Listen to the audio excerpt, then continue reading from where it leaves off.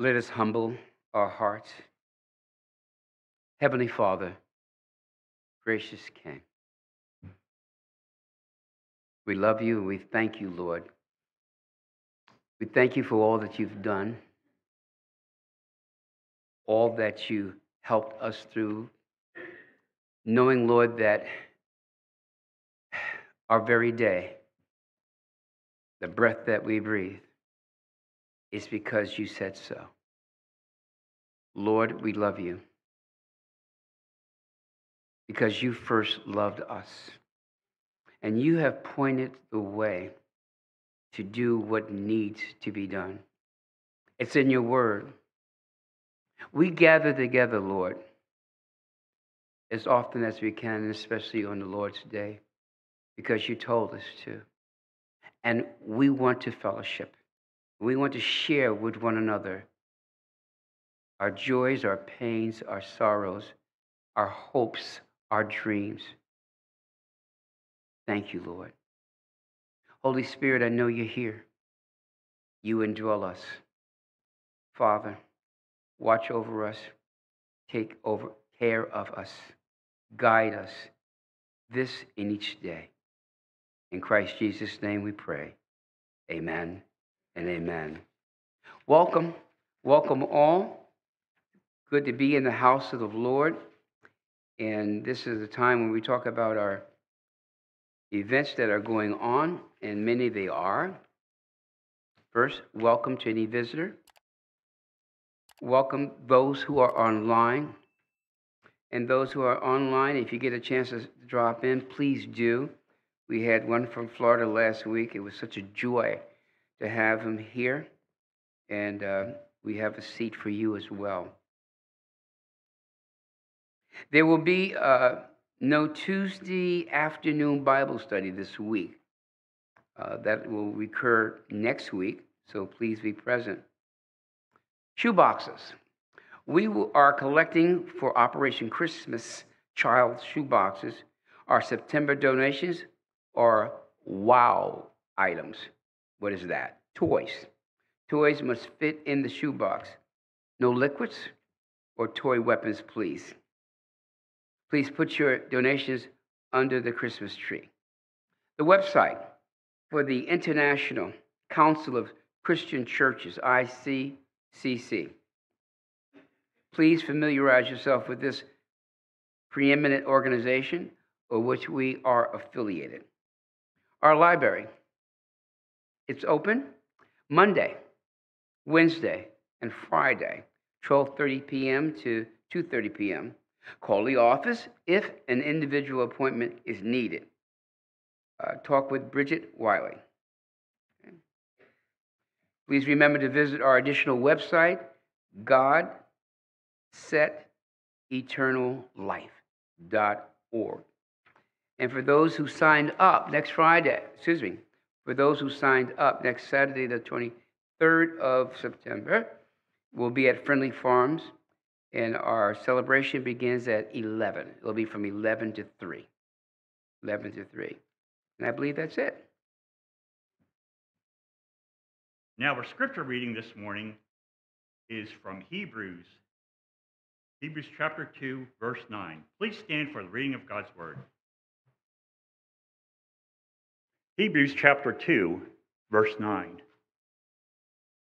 But we see Jesus who was made a little lower than the angels for the suffering of death, crowned with glory and honor, that he, by the grace of God, should taste death for every man. Now, Pastor Ron will bless us with his message Why Jesus Became a Man. Please be seated. Peace and blessings to all of you as we begin today in our third installment in the book of Hebrews, for those of you who like to think ahead, look ahead, I want to share with you that my mentors, when they preach the book of Hebrews, it took them two years, two years to finish. There's a lot here, a lot here to understand, like in today's topic so great a salvation. So great about salvation. And then that curious question, that intriguing question why Jesus became a man. We'll cover that today. Let me open with a word of prayer and then we'll get right started. Heavenly Father, thank you for this opportunity to share your words. Let it touch the hearts of the hearers, Lord. And those who don't know you, may it draw them nigh. Your word, Father, will never return void. In Christ Jesus' name we pray. Amen and amen. Okay, I want to get started right away. We're in chapter 2 today. Please open up your uh, books if you have your Bibles, if you have them. We'll be in chapter 2. I'm going to start at verse 1. Verse 1. And it reads Therefore, we must pay close attention to that we have heard, lest we drift away from it. Therefore. Now, that's an interesting word, right? Used often by writers of the books of the Bible. And when I read it, I'm thinking to myself, the phrase could mean for that reason, for that reason, or, or consequently. And simply, it simply means the writer is building on something prior. Something prior, as in this case in chapter 1. Now, briefly, chapter 1 solidified for you the believer's trust in Jesus. It begins by pointing out that God does, in fact, speak to his people. In the past, this was through various prophets. Now, however, the message is primarily through Jesus Christ. Jesus Christ. The writer of Hebrews states by pointing out that Jesus is not an angel, he's not a created being. Rather, Jesus is identical to God. Now, why would I say that? Remember back in chapter 1, verse 3. Let me tell you what it says. He is the radiance of the glory of God and the exact imprint of his nature. This was an especially an important distinction to make in the very early church. Why? The Jews thought that the angels would rule the world one day. According to the actual word of God quoted in Hebrews, this is not the case. The promised one, the Messiah, the descriptions given there, no angel could ever match. In fact, what the Jewish scriptures say about the Messiah makes it very clear that this figure is actually divine. Divine. Continuing on in verse 1, we must pay closer attention to what we have heard, lest we drift away. Now, this is the first of five admonitions, count them, the first of five admonitions found in the book of Hebrews. Their purpose.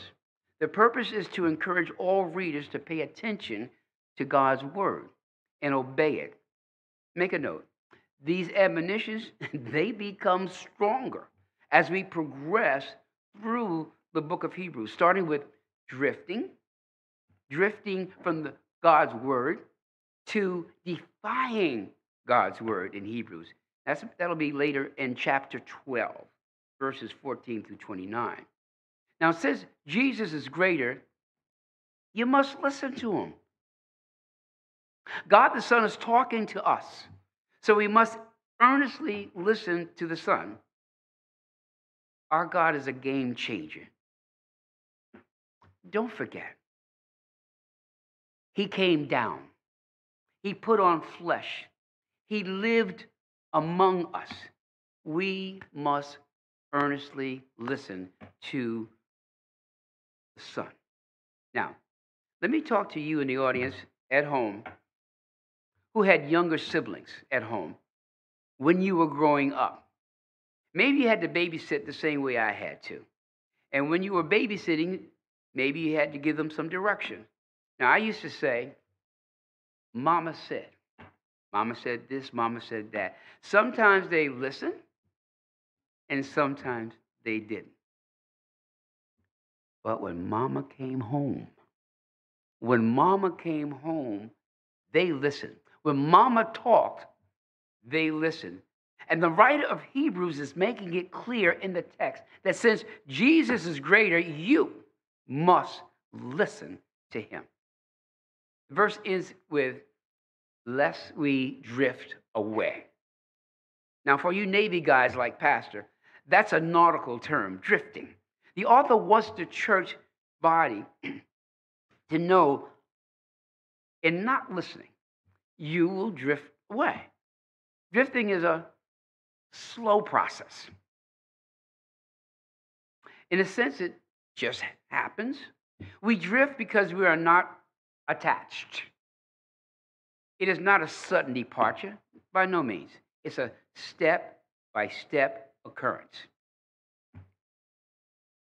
Not to drift is an individual choice, however. Not drifting must be intentional. And just let me ask you are you anchored to Jesus? Are you intentional about your prayer life? And I want to take it a step deeper. Your five year old Bible, does it still look new? What are you reading? Have you done any underlining? Sisters and brothers, I beseech you, don't drift. You don't want to drift. Verse 2. For since the message declared by angels proved to be reliable. Now, here the author is using the term message, and what he's referring to is the Ten Commandments. It appears, it appears that the angels had a role in the deliverance of the law, the Ten Commandments. Let's look deeper. Turn with me, please, to the book of Deuteronomy. Deuteronomy, chapter 33, verse 2. Verse 2. How does it read? The Lord came from Sinai and dawned from Seir upon us. He shone forth from Mount Paran. He came from the 10,000 of holy ones with flaming fire at his right hand. The 10,000 holy ones refer to, you got it, the angels. Now, I happen to prefer another reference, if you don't mind, in Acts chapter 7, verse 51 through 53.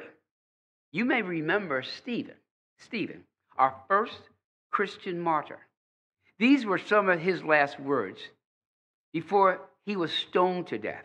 And they support, they support that the angels were involved in the delivery of the Ten Commandments. And when he's speaking, he does not mince any words. You stiff necked people, uncircumcised in heart and ears, you always resist the Holy Spirit. As your fathers did, so do you. Which of the prophets did your fathers not persecute? And they killed those who announced beforehand the coming of the righteous one, whom you have not now betrayed and murdered. You who received the law as delivered by angels and did not keep it. And so, if these words, the Ten Commandments delivered by the 10,000 angels, mattered, how much more will the words delivered by the only begotten Son of God matter? Verse 2, it ends with, And every transgression and disobedience received is a just retribution. When one thinks about the transgressions, we have a situation where the perpetrator steps over the line, committing an act, an overt act of commission. Disobedience suggests the idea of shutting one's ears to God's command, thereby committing a sin of omission. But, child of God, both are willful, serious, and will bring judgment. Let's go down to verse 3.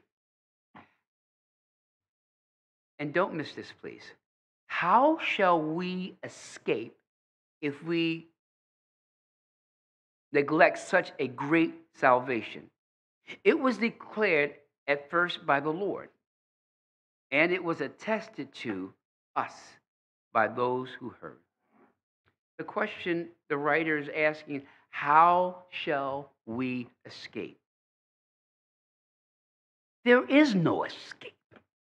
When you neglect this salvation, you are sealing your fate to the final judgment, the eternal wrath. So pay attention. As I say in the military, listen up. Jesus is the only way. There is no hope, no other name whereby you may be saved. And this was no ordinary event. This was a, a great, great salvation. Yes, it was. It was so great, so wonderful, so full, so complete.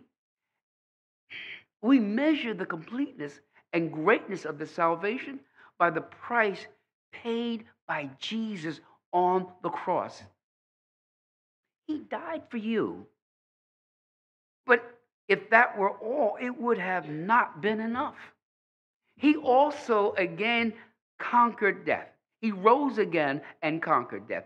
And remember, I told you last time, he sits at the right hand of the Father. And you might ask why. Why is he sitting down? He can sit down because his work has been done. It's finished, I tell you. It's done, it's finished. No more sacrifices need be made. Jesus has paid the ultimate price. You are sanctified. In fact, all true believers in the Lord Jesus Christ who have been effectually called have been sealed, sealed for the day of redemption. They are guarded through faith by God's power. 1 Peter chapter 1, 3 through 5. They will be glorified. Romans chapter 8, verses 29 and 30. And they can never perish or be snatched from the Father's hand. How do I know that? John chapter 10, verses 28 through 29. Let's go down to verse 4. While God also bore witness by signs and wonders and various miracles and by gifts of the Holy Spirit distributed according to his will, the supernatural powers demonstrated by Jesus and his apostles were the Father's divine confirmation of the gospel of Jesus Christ, his Son. Let's read one supporting scripture in John chapter 10, verse 38. But if I do them, now this is Jesus talking about miracles. But if I do them, even though you do not believe me, huh? Believe the works that you may know and understand that the Father is in me and I, I am in the Father. I am in the Father. Okay. What we've done so far, we've covered the writer's discussion of so great a salvation and how great it is. Let's move on to this intriguing question Why? Why did Jesus become a man? Going to verse 5. Now, it was not to angels that God subjected the world to come, of which we are speaking. The author is making it clear that God did not hand over the world to the angels to rule. In fact, the honor was passed to man. To man. Let's step back and take a look at Genesis, Genesis chapter 1, verse 26. We'll begin at the beginning.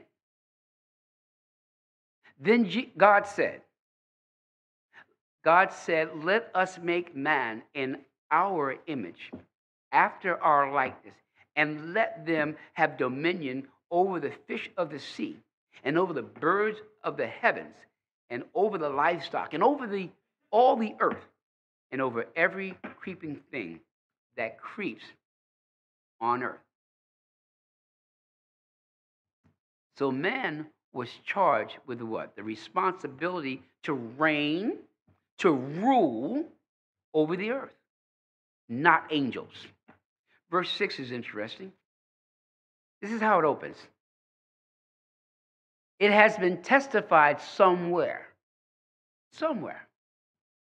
That sounds strange, doesn't it? It has been testified somewhere. But the author is simply saying the members of this local congregation all know where these words come from. And it comes from the pen of King David, Psalm 8, verse 4. And it reads Who is man that you are mindful of him? Or the Son of Man that you care for him? In this psalm, David reflects upon God's majesty that is displayed in the creation. The heavens declare God's glory. Against the backdrop of such glory, man seems insignificant. Yet God chose man to rule the earth and all its creatures. By giving man this awesome responsibility, God has crowned him with glory and honor. David marveled that God would share his power and glory with feeble man. Verse 7 You made him for a little while lower than the angels. You have crowned him with glory and honor. Verse 8 Putting everything in subjection under his feet. Now, in putting everything in subjection to him, he left nothing outside of his control. At present, we do not yet see everything in subjection to him. Stop right there. I got a problem. We have a problem. We have a serious problem. For it is obvious that man today is not exercising dominion over God's creation. Seriously. Man cannot control the fish, he can't control the fowl, he's not controlling the animals. In fact, let's get real man can't even control himself. So, how do we resolve this, I ask you? The solution to this dilemma is verse 9. Let me read it for you. But we see him who for a little while was made lower than the angels, namely Jesus, crowned with glory and honor because of the suffering of death, so that by grace of God, the grace of God, he might taste death for everyone. Jesus is God's answer to man's dilemma. Our Savior became man that he might suffer and die for man's sin and restore the dominion that was lost because of original sin. Original sin. When our Lord was here on earth, he exercised that lost dominion. Yes, he did. He had dominion over fish, fowl, wild beasts, and domesticated animals. And I want to prove it to you. Go to Matthew, please. Matthew chapter 17. Matthew chapter 17. I love the way the Bible just, just comes together to support itself. 17. I'm going to start reading at verse 24. Okay? When they came to Capernaum, the collectors of the two drachma tax went up to Peter and said, Does your teacher not pay the tax? He said, Yes. And when he came into the house, Jesus spoke to him first, saying, What do you think, Simon? From whom do kings of the earth take toll or tax? From their sons or from others? And when he said, From others, Jesus said to him, Then the sons are free. However, not to give offense to them, go to the sea hmm, and cast a hook and take the first fish that comes up.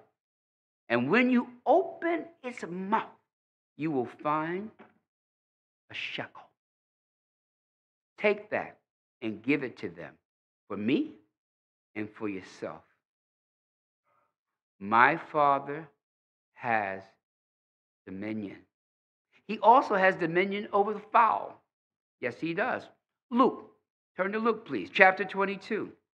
I'll read two verses out of that 34, and it'll be confirmed by verse 60, starting at 34, chapter 22, Luke. He gives an example where Peter will deny Christ, and it reads Jesus said, I tell you, Peter, the rooster will not crow this day until you deny three times that you know me. Dropping down to verse 60. How does it conclude? But Peter said, Man, I do not know what you're talking about. And immediately, immediately, while he was still speaking, the rooster crowed. Jesus has dominion. But what about wild beasts? Wild beasts. Go to Mark chapter 1. Mark chapter 1, verse 12. The Spirit immediately drove him out. We're talking about Jesus after his baptism. Mark 1, verse 12. We're talking about Jesus after his baptism. Uh, the Spirit immediately drove him out into the wilderness, and he was in the wilderness for 40 days. Count them. Being tempted by Satan, and he was with the wild animals, and the angels were ministering to him. Ministering to him. Our last example comes from the book of Mark, chapter 11, verse 1 through 7. And it says, Mark, chapter 11, verses 1 through 7. Mark says this Now, when they drew near to Jerusalem, to Bethphage and Bethany at the Mount of Olives, Jesus sent two of his disciples and said to them, Go Go into the village in front of you, and immediately as you enter it, you will find a coat tied on which no one has ever sat. And that's important. No one had ever sat. Untie it and bring it. If anyone says to you, Why are you doing this? say, The Lord has need of it, and will send it back here immediately. And they went away and found a coat tied at a door outside the street and they untied it. And some of those standing there said to them, What are you doing? Untying the coat. And they told them what Jesus had said, and they let him go. And they brought the coat to Jesus and threw their cloaks on, and he sat on it. We don't have the time in this forum, but I would love to go back and show you the, the um, what the prophet said and how this was prophesied before, what we're reading right now. Our Bible just hangs together. God's word is perfect. Now, clearly, what has happened? Jesus restored the lost dominion that was lost because of original sin. As the last Adam, Jesus Christ regained man's lost dominion. Today, everything is under his feet. Man was crowned with glory and honor, but he lost his crown. How? He lost his crown and became the slave of sin. Jesus Christ was regained, has regained that honor and glory, and believers today share, and this is the part that I love so much, we get to share in his kingly domain, dominion. One day, when he establishes his kingdom, it gets better, it gets better. We shall reign with him in glory and honor. Jesus did all of this for us. He died. Don't you see? He died when you were still a sinner. God's grace is what it is. Family, this is why Jesus became a man. If he had not become a man, he could not have died and tasted death for everyone. It is true that angels cannot die, but it's also true angels can't save you. They don't save lost sinners. And angels cannot restore man's lost dominion. It's Jesus that does that. And there's more. Christ gave up his glory to become a man. He regained his glory when he rose and ascended to heaven. Now he shares that glory with all who trust him for salvation. And that's you. And that's me. He's bringing many sons and daughters to glory. Christ is united in us, and we're united in him. We are spiritually, watch this, we're spiritually one. In fact, we are his brethren. As the author tells us in Hebrews chapter 2, verse 12. Here, the author is quoting really Psalm 22, verse 22, a messianic psalm, in which Christ refers to his church as his brethren. Think of that. My brother. This means we and the Son of God share, ready, the same nature.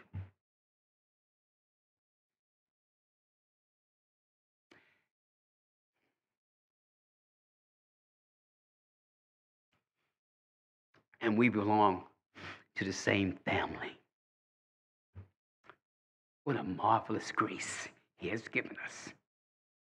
Why did Jesus become a man? If Christ had not become the earth and become a man, he could not take us from earth to share in his glory. The incarnation, this listen, the incarnation, the crucifixion, the resurrection, it's a package deal. It's all together. They all lead to glory. Jesus could not have become an adequate Savior and high priest had he not first become a man and suffered and he died. Two more. By becoming a man, his humility enabled him to disarm Satan and deliver us from death. Angels don't die. Jesus did not come to save angels, he came to save you. You. This meant that he had to take on himself flesh and blood and become a man. Only then could he die. You may not have needed to know that. I needed to know that. That has been on my mind since I was a boy. He had to do that. He had to come, he had to put on flesh so he could die. And through his death, what did he do? He defeated Satan. The word destroy, thou, stay with me here. It doesn't mean annihilate, for it is obvious that Satan is still alive and busy. Instead, the word means render inoperative. It means that it has no effect now. Satan is not destroyed, but he is disarmed. Finally, the humility enables him excuse me, his humanity enables him to be a sympathetic high priest to his people. Being pure spirits who have never suffered, the angels cannot identify with you guys. In our weakness and needs, no, he can't. But he can. Jesus can. While he was here on earth, Jesus was made like unto his brethren, didn't he not? In that he experienced infirmities of human nature. He knew what it was to be a helpless baby, a growing child, a maturing adult. He knew the experience of weariness, of hunger, of thirst. He knew what it was to be despised, rejected, falsely accused, lied on. He experienced suffering and he experienced death. All of this was part of his training training for his heavenly ministry of high priest. High priest. It might be good at this point to make a difference between the roles of high priest and his role of advocate. And I, re- I want to remind you advocate, another word for that is lawyer. As our high priest, our Lord is able to give us grace to keep us from sinning when we are tempted if we do sin, then he is our advocate, our lawyer, representing us before the throne of God. I've heard it once said that you have, if you have a good lawyer, he knows the law. But if you have a great lawyer, he knows the judge. When Jesus talks as your lawyer to God in your behalf, let me tell you how he starts off. Daddy, that's my, that's one of mine there. That's how that conversation starts. You want that. You want him representing you before God and forgives us when we sincerely confess our sins to him. Both of these ministries are involved in his present work of intercession. And it is this intercessory ministry that is the guarantee of our eternal salvation. That's why we say, you're not holding on to him, he's holding on to you. He's holding on to you. As you read Hebrews, you cannot help but be amazed at the grace and the wisdom of God. From a human standpoint, it would seem a little foolish for God to come here as a man. Yet, it was this very act of grace that made it possible for salvation and all that goes with it. When Jesus became man, he did not become inferior to the angels, for in his human body, he accomplished something that angels could never accomplish. At the same time, he made it possible for us, you and I, to share in his glory. He is not ashamed. He is not ashamed to call his brothers and sisters. And you should not be ashamed to call on him as well, to call him Lord. And I just want to close with this. The incarnation of Christ is the greatest proof of God's love and regard for you. Christ was sent in not in the form of an angel. He was sent in the form of a man. Let us pray. Father, I am so glad that we belong to you, that you took the time to go through all that you went through. Birthed by Mary, raised. Your brothers didn't even believe in you. Lied on, cheated, tortured at the cross.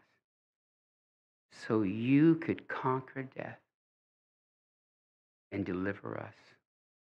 You loved us when we were foolish. And I know there's a million stories right in this room today of the things we did. But you didn't give up on us. You walked with us, Lord. And when we turned around thinking we were lost and we looked up, there you were, reaching down.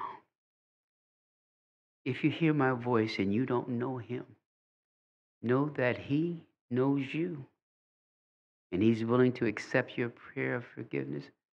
He's willing to accept the cry that you give out that says, Lord, I need you in my life, and I accept you as Lord. Thank you, Father. And as we go about our day, let us share you with those that we meet. Lord, one more thing. We wanted to dedicate this to a special person today who tried to be here, but he's still in the hospital. And for all those who need God's presence, we pray that you receive him. In Christ's name we pray. Amen.